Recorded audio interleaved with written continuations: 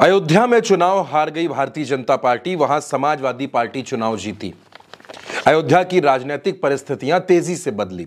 लेकिन दोस्तों, अब अयोध्या को लेकर जो खबर सामने आई है, वो बेहद चौंकाने वाली है। इंडियन एक्सप्रेस ने एक स्टोरी की है, इन्वेस्टिगेटिव स्टोरी है। उस स्टोरी की जो हेडलाइन है, सबसे पहले आप उस हेडलाइन को पढ़िए। मैं आपको पढ़कर भी सुना देता हूँ और आप स्क्रीन पर भी उस खबर को पढ़ सकते हैं।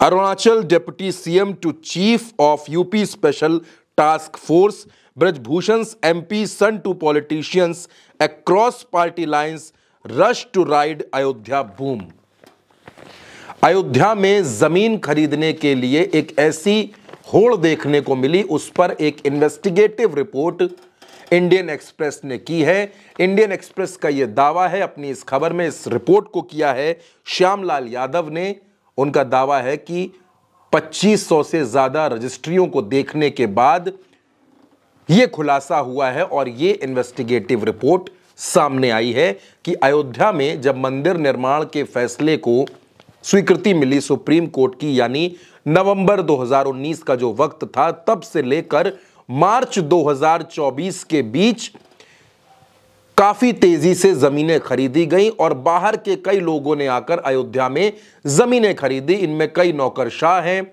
अरुणाचल प्रदेश के डिप्टी सीएम और बीजेपी के नेता के दोनों बेटे हैं।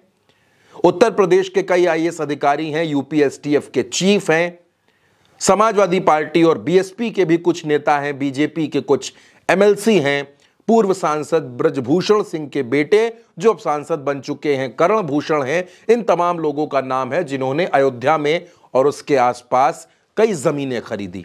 ये जमीनें खास तौर पर किन किन इलाकों में खरीदी गई, वो भी मैं आपको बताता हूँ। और उसके बाद ये बताऊँगा कि ज़मीन खरीदने वालों की लिस्ट में कौन कौन लोग हैं और किस तरीके से इसमें खेल किया गया।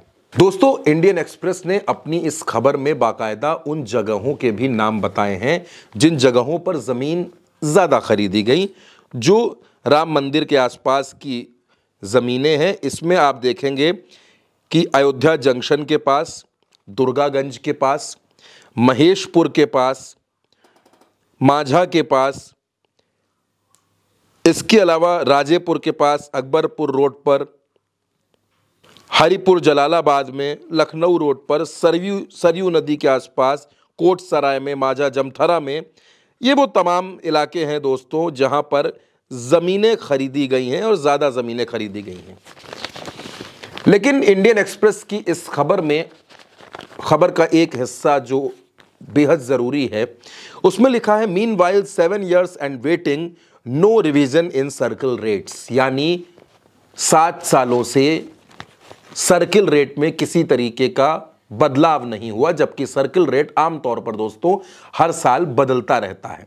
लेकिन यहाँ सर्किल रेट में किसी तरीके का कोई बदलाव देखने को नहीं मिला। ये वो ज़मीन है जो अयोध्या के आसपास के 25 गाँवों में खरीदी गई है। कुछ ज़मीन गोंडा के आसपास खरीदी गई है, कुछ बहराइच में खरीदी गई है। और अब मैं आपको वो बताता हूँ दोस्तों कि इनमें वो कौन कौन लोग हैं जिनका नाम है। दोस्तों, इसमें नाम है अरुणाचल प्रदेश के डिप्टी सीएम के दोनों बेटों, चौकान सिंह मीन और आदित्य मीन का।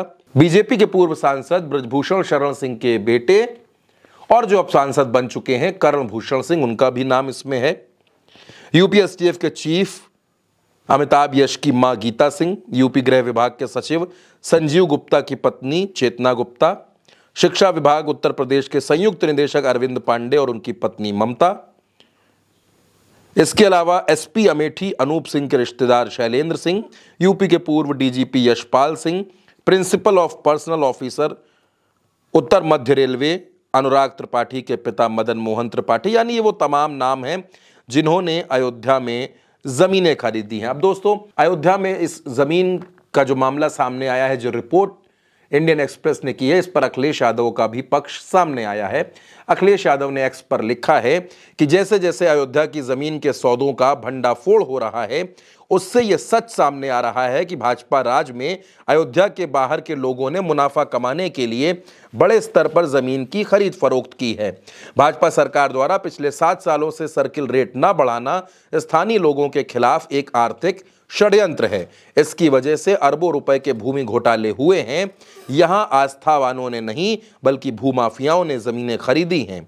इन सबसे अयोध्या फैजाबाद और आसपास के क्षेत्र में रहने वालों को कोई भी लाभ नहीं मिला।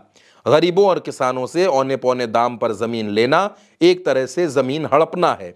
हम अयोध्या में तथाकथित विकास के नाम पर हुई धांधली और भूमि सौदों की गहन जाँच और समीक्षा की मांग करते हैं। सुनने में आ रहा है अखबारों में पढ़ने को मिल रहा है कि बड़े पैमाने पर ज़मीन कब्जा हो गई है उधर।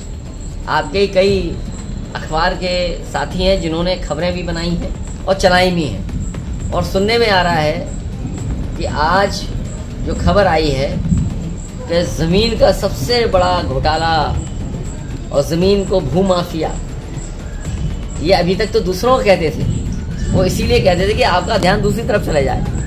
लेकिन जैसे सच्चाई सामने आ रही है, सबसे बड़ा, सबसे ज़्यादा ज़मीनों का काम करने वाला कोई अगर है तो वो भारतीय जनता पार्टी के लोग। दोस्तों, वैसे तो इस लिस्ट में काफ़ी नाम है, लेकिन जो बेहद ज़रूरी नाम है, उनके बारे में मैं आपको बताता चलता हूँ कि वो कौन कौन से नाम हैं। इसमें अरुणाचल के डिप्टी सीएम के दोनों बेटे चौकान सेंग मीन और आदित्य मीन ने सितंबर 2022 और सितंबर 2023 के बीच अयोध्या और गोंडा को अलग करने वाली सरयू नदी के पार महेशपुर में मंदिर से आठ किलोमीटर दूर तकरीबन तीन दशमलव नौ नौ हेक्टेयर ज़मीन तीन करोड़ बहत्तर लाख रुपए में खरीदी और 25 अप्रैल को उन्होंने 25 अप्रैल 2023 को ज़ीरो दशमलव सात छह आठ हेक्टेयर ज़मीन अट्ठानवे लाख रुपए में बेच दी। ये अरुणाचल प्रदेश के जो उप मुख्यमंत्री हैं, चौना मीन, उनके दोनों बेटों ने किस तरह से ज़मीन की यहाँ खरीद फरोख्त की है, उसका खुलासा इंडियन एक्सप्रेस में है और इसके बाद ब्रजभूषण शरण सिंह के बेटे करण भूषण, उन्होंने राम मंदिर से आठ किलोमीटर दूर महेशपुर में ज़ीरो दशमलव नौ सात हेक्टेयर ज़मीन जनवरी 2013 में एक करोड़ पंद्रह लाख में खरीदी। इसके बाद जुलाई 2023 में छह सौ पैंतीस दशमलव सात दो वर्ग मीटर ज़मीन साठ लाख छियानवे हज़ार में बेच दी। यूपी एसटीएफ के प्रमुख एडिशनल डीजीपी अमिताभ यश अमिताभ यश की माँ गीता सिंह ने फरवरी 2022 से 2 फरवरी 2024 के बीच महेशपुर, दुर्गागंज, मऊ, यदवंशपुर में मंदिर से तकरीबन तकरीबन ये जो तीनों इलाके हैं 8 से 12 किलोमीटर की दूरी पर हैं। यहाँ पर नौ दशमलव नौ पाँच पाँच हेक्टेयर कृषि योग्य भूमि, चार करोड़ चार लाख में खरीदी। इसमें से उन्होंने 16 अगस्त 2023 को महेशपुर में ज़ीरो दशमलव पाँच शून्य पाँच हेक्टेयर ज़मीन बीस दशमलव चार शून्य लाख रुपए में बेच दी। इसके अलावा यूपी गृह विभाग के सचिव संजीव गुप्ता ने भी यहाँ पर जमीनें खरीदी बेची हैं।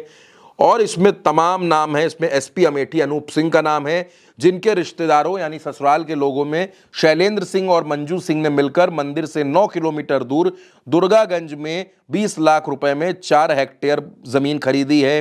इसके अलावा और जो तमाम नाम इसमें बीजेपी के विधायक अजय सिंह, उन्होंने भी मंदिर से आठ किलोमीटर दूर उनके भाई कृष्ण सिंह और भतीजे सिद्धार्थ सिंह ने महेशपुर में सैंतालीस लाख रुपए में ज़मीन खरीदी है। इसके अलावा गोसाईगंज नगर पंचायत की अध्यक्ष लक्ष्मी जायसवाल ने ज़मीन खरीदी। अमेठी जिला पंचायत के अध्यक्ष राजेश अग्रहरी ने मंदिर से 10 किलोमीटर दूर 19 जून 2023 को 8 करोड़ 35 लाख में ज़ीरो दशमलव सात नौ हेक्टेयर खेती योग्य भूमि भी खरीदी है। इसमें पूर्व विधायक जितेंद्र कुमार बबलू ने भी जमीनें खरीदी हैं। समाजवादी पार्टी के पूर्व एमएलसी राकेश राणा ने 25 लाख रुपए में यहाँ मंदिर से 9 किलोमीटर दूर ज़मीन खरीदी बीजेपी के एमएलसी विनीत सिंह ने 80 लाख रुपए में सितंबर 2023 में मंदिर से 12 किलोमीटर दूर दो हज़ार छह सौ तिरानवे वर्ग मीटर ज़मीन खरीदी है। यानी कि तमाम नाम इसमें हैं। अडानी से लेकर लोढ़ा तक तमाम व्यापारी वर्ग, कॉरपोरेट वर्ग के भी लोग हैं जिन्होंने ज़मीनी खरीदी है। अगर अडानी ग्रुप की बात करें तो पिछले साल 18 सितंबर को कंपनी ने होम क्वेस्ट इंफ्रास्पेस नामक एक सहायक कंपनी बनाई। जिसने नवंबर और दिसंबर के बीच मंदिर परिसर से छह किलोमीटर दूर माझा जामथारा में एक दशमलव चार हेक्टेयर से अधिक कृषि भूमि खरीदी। इस ज़मीन की कीमत तीन करोड़ पचपन लाख है। दोस्तों, यानी कि यहाँ पर ज़मीन खरीदने के लिए गलगोटिया होटल एंड रिसोर्ट ने यहाँ पर आठ किलोमीटर दूर महेशपुर में ज़मीन खरीदी है। द इनोवेटर्स ने ज़मीनें खरीदी हैं। कर्नाटक के सावरथिया डेवलपर्स ने ज़मीन खरीदी है।